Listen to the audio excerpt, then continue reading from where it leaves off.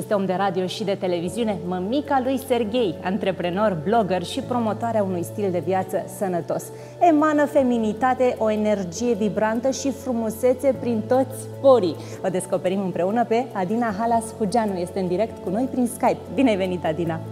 Bine v-am găsit, uh, v-am găsit și uh, uh, îmi doresc în primul rând, pentru că ai spus că este Sfântul Dumitru, să le urez la mulți ani tuturor sărbătoriților zilei. Mulțumesc pentru invitație și mă bucur să fiu cu voi, chiar și așa, varianta aceasta prin Skype.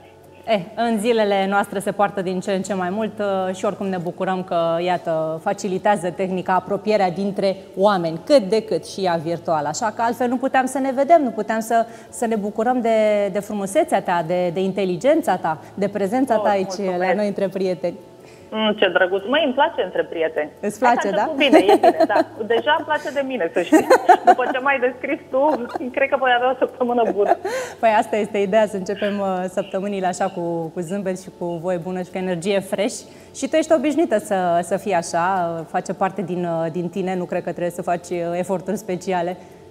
Îmi place să-mi păstrez pozitivismul și chiar în situațiile mai puțin plăcute din viață încerc să mă Uh, amuz pe cât posibil de situațiile uh, dificile și consider că trebuie uh, cumva exersat acest pozitivism până ți iese. Știi? Cum zice chinezul, fake it till you make it. și tu cum faci? Cum îți păstrezi această stare de spirit bună?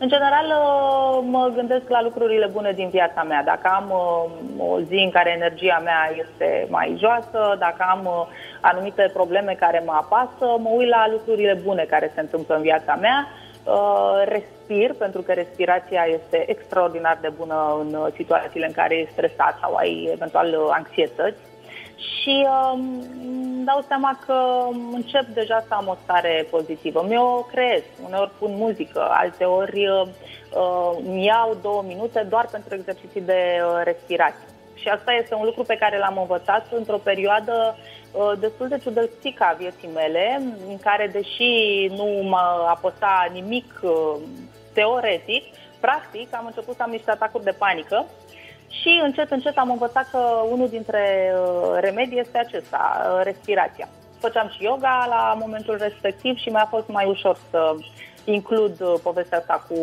o respirație potrivită în rutina mea zilnică. Exact, face parte în continuare yoga din, din viața ta? Faci exerciții zilnice? Eu am descoperit yoga într-o vacanță în Filipine, unde am stat uh, două luni și uh, mi-a, mi-a plăcut foarte mult. Uh, fiind umiditate crescută în Filipine, pe o insulă superbă, eram în Boracay, nu prea puteam să merg la sală să trag de fiare, așa că am ales să descoper yoga și mi-a plăcut foarte mult, mi s-a potrivit, întoars în țară mi-am implementat această rutină, dacă permit să spun așa, și mult timp am făcut yoga. Acum nu mai fac, uh, recunosc că am anumite uh, asane și anumite momente când simt nevoia um, eventual să le, să le practic. Mă refer mai mult la partea de stretching pe care am uh, importat-o la sfârșitul antrenamentelor mele. De-a lungul timpului mi-am schimbat antrenamentele uh, și, uite, în perioada asta fac, uh, spre exemplu, CrossFit. CrossFit uh, este un tip de antrenament funcțional uh, destul de E bine destul de dur antrenamentul, adică trebuie să reziști, uh, cunosc uh, conceptul și se lucrează foarte frumos chiar pe grupe musculare și se fac acele serii Uh, care te ajută, iată, să-ți reconstruiești uh, corpul. De când te-ai apucat da, de, de crossfit? Indiferent uh, la ce vârstă, asta este Așa este, da. Um, prima dată am intrat în boxul de crossfit în 2017 și atunci făceam antrenamente. Mă antrenez în mod constant de mai, cred că am mai mult de 15 ani. Însă, la momentul respectiv, voiam să schimb puțin așa rutina, pentru că este foarte bine din când în când să-ți uh, introduci elemente noi în uh, antrenamentul uh, tău. Și am ajuns în boxul de CrossFit, mi-a plăcut foarte mult. Am făcut o pauză la un moment dat după ce am făcut o operație estetică și medicul mi-a interzis o perioadă să mai ridic greutăți mari. După care m-am întors, iată mă sunt din nou uh, la CrossFit și îmi place foarte mult. Nu cred că voi mai schimba acest tip de antrenament, deoarece uh, CrossFit-ul, uh, așa cum spuneam, fiind un antrenament funcțional, niciun antrenament nu seamănă cu altul, nici o zi nu seamănă cu alta și uh, adună elemente din mai multe uh, sporturi. Așa este. Și Așa chiar dacă că... lucrezi cu greutăți, uh, corpul nu se deformează și asta este important pentru că și femeile sunt adeptele acestui uh, sport și uh, iată, mușchilor sunt uh, tonifiați și arată foarte bine pe o femeie felul în care sunt lucrați. Uite, tu ai spus un lucru foarte interesant acum. Mușchii nu se deformează. Trebuie să subliniem faptul că, um, știi, am auzit de multe ori uh, de la uh, femei uh, această teamă. Nu vreau să trag de greutăți pentru că nu vreau să am musculatura foarte mare. Lucrul acesta nu prea se întâmplă la noi femeile, um, decât dacă e sportiv de performanță și te chinui foarte mult să acumulezi acea masă musculară.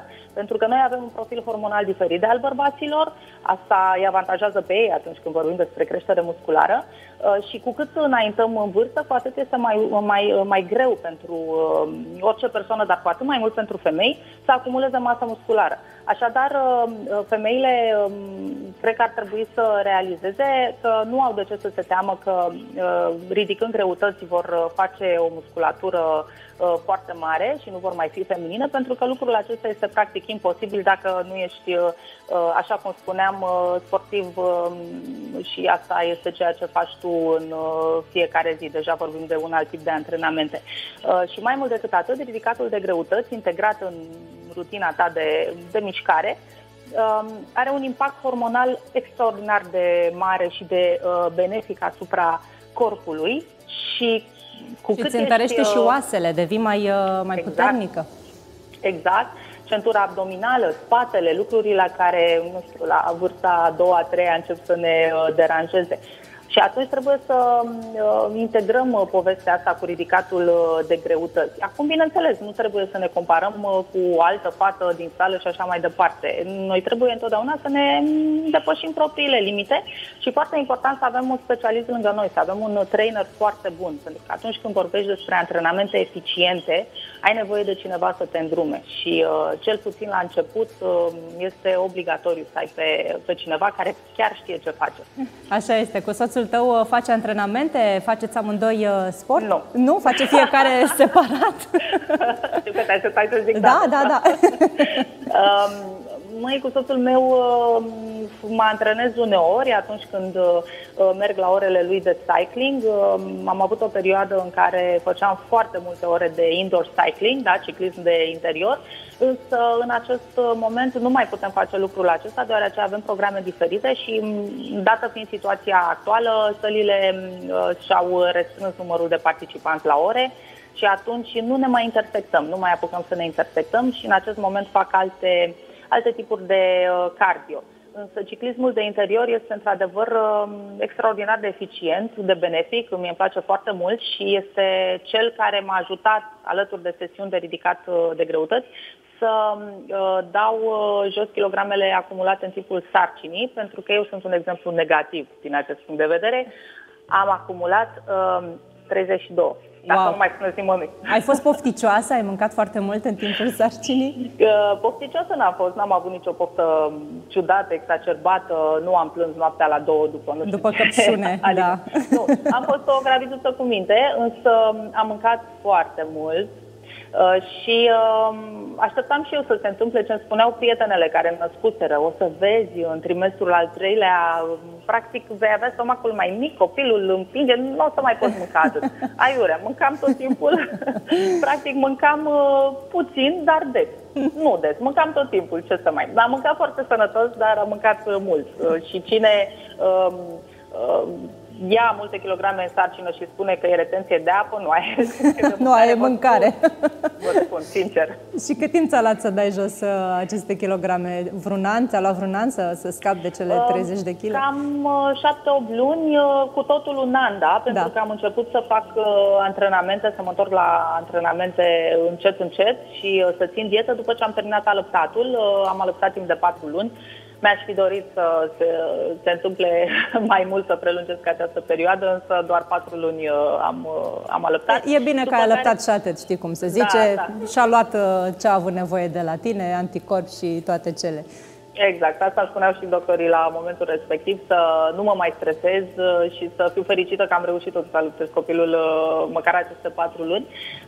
După care în aceste patru luni, bineînțeles, am dat un număr de kilograme în mod natural jos și uh, restul de 18 kilograme uh, le-am dat jos în următoarele 7-8 luni cu uh, dietă și cu antrenamente. Sigur, cu, găsim și pe blogul tău interior, secretul. Spuneam, și o sesiune, două pe săptămână de uh, ridicat de greutăți. Te-au contactat uh, mămici, uh, ți-au citit articolele pe blog, mămici care au avut nevoie de ajutor de a slăbi și ele după sarcină? De foarte multe ori. Întotdeauna am uh, simțit nevoia să pun acel uh, uh, disclaimer, știi? Da, da, da. Și să le explic faptul că uh, nu sunt uh, nici nutriționist, uh, nu uh, sunt uh, nici antrenor. Într-adevăr, experiența mea de viață mă face să uh, pot să le împărtășesc uh, lucruri, însă întotdeauna lucrurile trebuie adaptate la uh, persoana respectivă. Dar, uh, pe ansamblu, da, le-am putut da uh, exemplul meu. La un moment dat uh, postam pe blogul meu la secțiunea meniul meu, um, meniul meu din ziua respectivă. Cred că sunt și acum uh, pe blog uh, în jur de 40-50 de astfel de meniuri și de-a lungul timpului și pe rețelele de socializare, spre exemplu pe Instagram. Chiar și în momentul acesta nu mai am la fel de mult timp să îmi postez toate mesele, însă din când în când postez ceea ce mănânc. Atunci când se strâng mai multe mesaje și mă întreabă diverse prietene din mediul online, fac lucrul acesta și mă gândesc că poate le ajută, poate le inspiră, poate au nevoie să vadă că, uite, mai este cineva care se chinuie. Știi cum e, ai o comunitate frumoasă și e normal uh, ca femeile să se întrebe ce faci uh, de da. arăți da. atât de bine și e foarte frumos că le oferi ajutorul și sfaturile tale prețioase. Și ele mi le oferă mie. Este un schimb foarte frumos, pentru că uh, nu este într-o singură direcție. Uite, spuneam la un moment dat faptul că mi-am descoperit uh, de curând de câțiva ani uh, o tiroidită, care este ușoară, nu este un capăt de țară, însă este o afecțiune, acea Hashimoto de care văd că suferă toată lumea mai nou. Da. Sau foarte multă lume, cred că e la modă sau ceva. Sună și bine, trebuie să recunoaștem. Uh, și um, această, în urma acestei dezvăluiri, ca să spun Așa, am început să primesc uh, mesaje și sfaturi și articole um, în care mm, se vorbea despre această, această boală autoimună, această afecțiune, această tiroidită. Și mi-am dat seama că este minunat că, practic, și eu învăț de la uh, prietenele mele din uh, online uh, lucruri și este un uh, schimb benefic. Și trebuie să recunoaștem că în zilele uh, noastre lucrurile sunt mult mai ușoare când vorbești de schimbul acesta de informații. Și da, am o comunitate foarte, foarte frumoasă. Așa este. Cât îți dedici uh, pe zi uh, blogului? Cât timp? Uh, blogului mai puțin pentru că nu apuc să scriu uh, atât de mult pe cât uh, aș vrea. Îmi urc uh, pe blogul meu pe adinahalas.ro uh, diverse articole din când în când. Îmi urc uh, emisiunile TV la care particip, emisiuni de radio și așa mai departe.